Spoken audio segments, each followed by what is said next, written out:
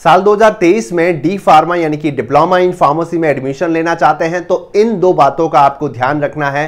पूरी डिटेल में डिस्कस करेंगे इसके रिगार्डिंग और डी फार्मा एडमिशन लेने के लिए हो जाओ सावधान। Hello everyone welcome to my channel academy this is Himanshu जैसा कि आप सभी जानते हैं, जब भी कोई सेशन स्टार्ट होता है, साल 2023 सेशन स्टार्ट हो चुका है और काफ़ी सारी इंक्वायरी आती है कि सर, डी फार्मा में एडमिशन लेना है साल 2023 से क्या कुछ चेंजेज हुए हैं इसके एडमिशन प्रोसेस में? और यहाँ पे हमें एडमिशन लेते समय किन किन बातों का ध्यान रखना है? इसके बारे में कंप्लीट डिटेल में बात करेंगे भैया। जो भी स्टूडेंट डी फार्मा में एडमिशन लेना चाहता है कंप्लीट बात सुन लेना। आपके लिए बहुत ही ज़्यादा हेल्पफुल होने वाली है। क्या कुछ चेंजेज हुए हैं इसके बारे में कंप्लीट बात करेंगे और साथ ही जैसा कि आप सभी जानते हैं सर ये डी फार्मा कोर्स है। दो साल का डिप्लोमा कोर्स है। गवर्नमेंट में हम फार्मासिस्ट अपॉर्चुनिटी मिल सकती है हम ड्रग स्टोर खोल सकते हैं। काफ़ी सारी अपॉर्चुनिटीज़ के साथ मिलती है। आप सभी जानते हैं डी फार्मा कंप्लीट करने के बाद आपको काफ़ी सारे जॉब्स के साथ साथ खुद का ओन बिज़नेस करने का भी बहुत ही बड़ा अवसर मिल जाता है।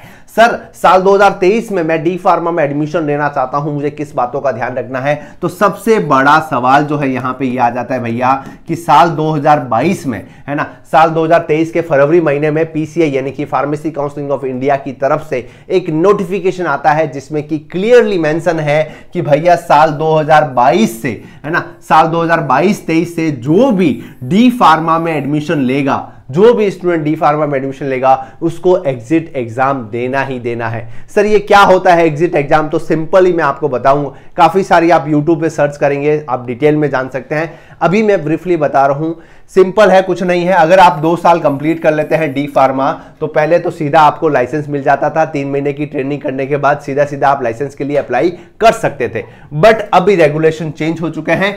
एग्जिट एग्ज़ाम अभी तक पहला एग्ज़ाम हो चुका है क्या सर नहीं हुआ है। साल 2022-23 में जिसने एडमिशन लिया है, उनका पहला एग्जिट एग्ज़ाम भी होगा और होगा डेफिनेटली होगा क्योंकि ये जो मैं आपको बता रहा हूँ, ये ऑफिशियल नोटिफिकेशन की बात है। ठीक है? तो पहले क्या होता था? सीधा आप अप्लाई कर सकते थे। अभी आपने जैसे डी फार्मा कंप्लीट किया, उसके बाद में आपको एग्जिट एग्ज़ाम देना पड़ेगा।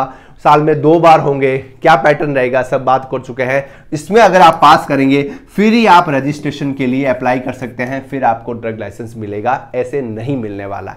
ये सबसे बड़ा चेंजिंग जो है, वो साल 2023 के बाद आपको देखने को मिला है। कोई ऐसा बोलता है आपको, भैया एग्जिट एग्ज़ाम नहीं होगा, हम करवा लेंगे, कैसे करवा लेंगे? तो भैया, इस बात में मत रहना, क्योंकि मैं जो आपको बता रहा हूँ एग्जिट एग्जामिनेशन की बात, ये प्रॉपर ऑफिशियल है 2022-23 से लागू होगा ही। होगा। सेकंड क्या कुछ बात रहने वाली है? अब देखिए, यहाँ पे देखिए, काफ़ी सारे स्टूडेंट का ये भी मैसेज आता है कि, सर, हमने एक और चीज़ सुनी है कि ट्वेल्थ के बाद पाँच साल के अंदर अंदर अगर डी फार्म एडमिशन लेना चाहते हो तो हो जाएगा अदरवाइज़ नहीं होगा।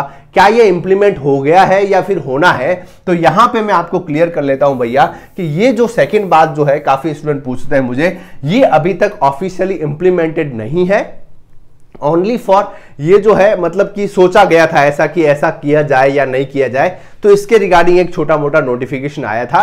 बट ये जो सेकंड है कि भैया ट्वेल्थ के बाद पाँच साल के अंदर अंदर आपको डी फार्म एडमिशन लेना है अदरवाइज़ आप नहीं ले सकते। तो ये अभी तक इंप्लीमेंटेड नहीं हुआ है, ये सोचने में मतलब ये सोचा जा रहा है इसके बारे में, अभी इंप्लीमेंटेड नहीं है। बट एग्जिट एग्ज़ाम जो है आप सुन रहे हैं तो बिल्कुल भैया लागू हो चुका है। इस बात का आप ध्यान रखना। जो भी स्टूडेंट साल 2023 में डी फार्मा में एडमिशन लेना चाहते हैं और भी ऐसी इंक्वायरी के लिए क्या कुछ करना है आपको तो देखिए यहाँ पे आप देख पा रहे हैं वेबसाइट पे जा सकते हैं। ये हमारी वेबसाइट है www.pharmaaffinity.com जिसकी लिंक आपको डिस्क्रिप्शन और कमेंट बॉक्स में मिल जाएगी। जैसे ही आप इसके देखिए होम बटन पे जाइएगा तो यहाँ पे आप देख पा रहे हैं admission enquiry registration for job seeker जो जॉब पाना चाहते हैं उनके लिए मैंने अलग फॉर्म बना दिया है। और जो भी स्टूडेंट एडमिशन रिगार्डिंग इंक्वायरी जानना चाहते हैं तो आपको एडमिशन इंक्वायरी पे क्लिक करना है। और एक सिंपल सा मैंने फॉर्म बना बना दिया है जिसमें कि आप अपनी डिटेल जो है वो पूरी दे सकते हैं। और जो भी हमारी तरफ़ से जो भी आपकी हेल्प होगी, वो हेल्प जो है वो पूरी पूरी की जाएगी।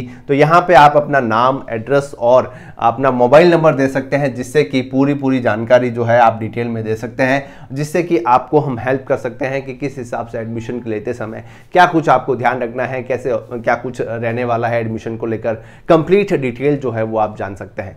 चलिए तो कैसा लगा आपको इन्फॉर्मेशन ज़रूर बताएँ कमेंट सेक्शन में। लाइक करें शेयर करें सब्सक्राइब करें। ऐसे ही pharma regarding news update vacancy update video lectures के लिए। Keep watching state